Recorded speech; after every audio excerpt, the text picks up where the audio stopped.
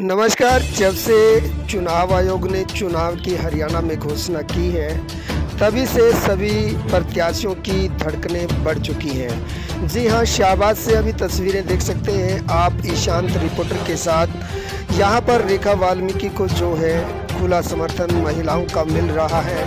और अब की बार महिलाओं की मांग है कि जो आरक्षण भारतीय जनता पार्टी ने महिलाओं को दिया है उसी आधार पर अब की बार रेखा वाल्मीकि को टिकट मिलना चाहिए। और यहाँ पर आप तस्वीरों में देख सकते हैं कि किस प्रकार से महिलाओं ने यहाँ पर इकट्ठा होकर आज रेखा वाल्मीकि के लिए टिकट की मांग की है। और जोरदार यहाँ पर स्वागत रेखा वाल्मीकि का हुआ है। तस्वीरें बिल्कुल आपके सामने हैं।